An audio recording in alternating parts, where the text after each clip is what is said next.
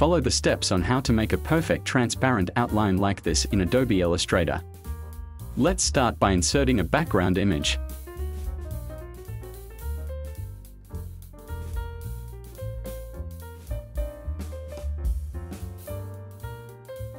Press Ctrl 2 to lock it. Then press T and type a text.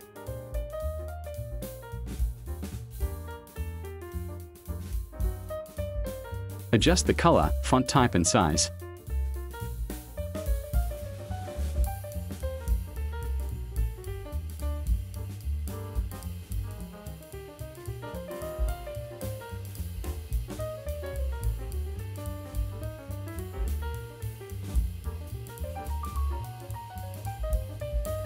Remove fill color.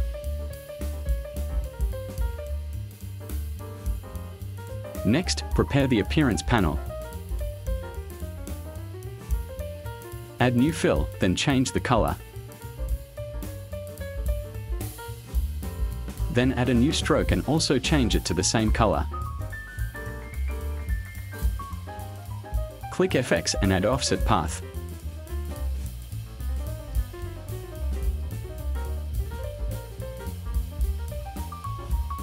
Adjust the thickness of the stroke. Click type then also add a drop shadow.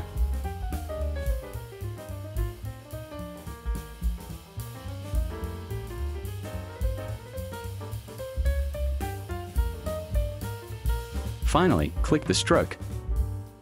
Then go to Pathfinder and click Add.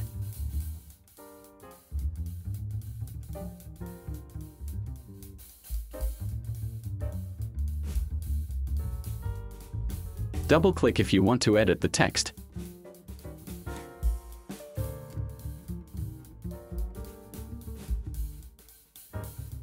Finished. Thank you for watching until the end. If there is something you don't understand, write a comment below. Click like for support and activate the notification bell to get the next video update.